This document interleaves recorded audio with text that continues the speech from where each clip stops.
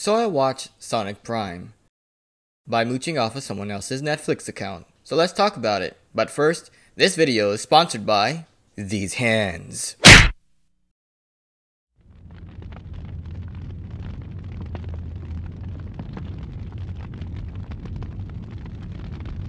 Now, looking at my analytics, it seems that 99% of you are not subscribed.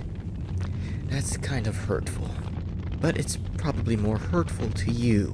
Because I can't guarantee your safety if you don't subscribe.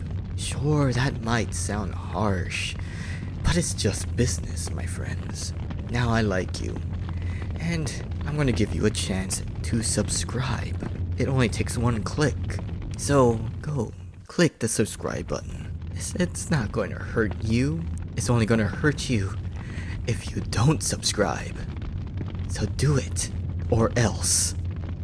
Okay, back to the video. Sonic Prime. When I heard it was going to be a multiversal adventure, I thought it was gimmicky because, well, if you look at media today, it's all about the multiverse. We got the new Flashpoint movie, we got Multiverse of Madness, Spider Verse, uh, Loki, Marvel, all that stuff. It, it's very overused.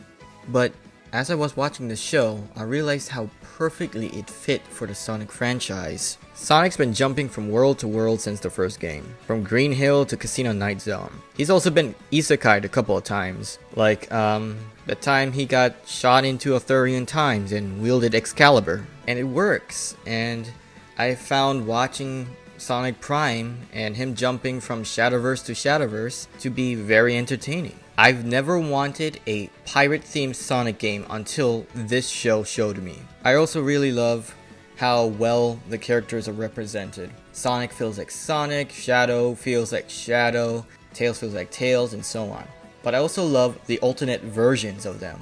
Nine, even though yes, he does feel like Tails, He's distinct enough that I can separate him from Tails. I think Nine is a very unique character to him. And Rusty Rose, the same thing. You can tell that's Amy, but she's been changed to be, well, again, Rusty Rose. And so on and so on. Rusty Rose is different from Thorn.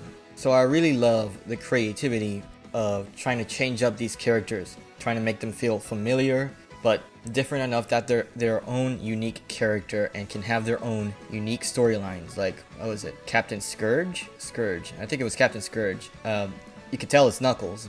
It's, he's tough and strong, but definitely unique to him. And it, he's a very funny character to watch. I, the pirate captain fits perfectly for Knuckles. And I love how smoothly it transitions from episode to episode. It felt more like watching a movie rather than a TV show. It was just so well put together and the animation is fantastic. It's very bouncy, very sometimes like squash and stretch, but also the camera work is fantastic. It's very cinematic and very lively with its camera work. I have to give it extreme props for that. It really makes me want to have more Sonic animated projects, kind of like how Scooby-Doo and DC has their IPs where they put out several animated shows and animated movies every so often. I'm really looking forward to see where it ends. So, as a Sonic fan, to another Sonic fan, I recommend it. And even if you're not a Sonic fan, check it out. It's entertaining. It's a really,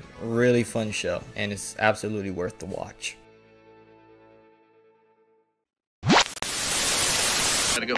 Hey, guy, you're the first serious gamer I've seen all morning. Check this out. Brand new 16-bit Super Nintendo with Super Mario World. Wow! what's this one? Oh, this is a Sonic the Hedgehog from Sega Genesis. Hey, look at these radical colors, huh? Wow, Sonic's fast, too. No, over here. I like Genesis, and it costs a lot less. Wait, kid, that game I'll there. take Sonic and Genesis.